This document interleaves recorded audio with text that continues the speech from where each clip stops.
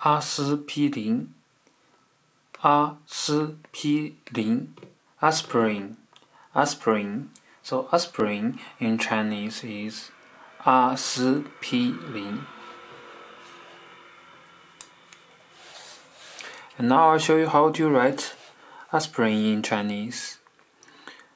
One, two, three, four, five, six, seven.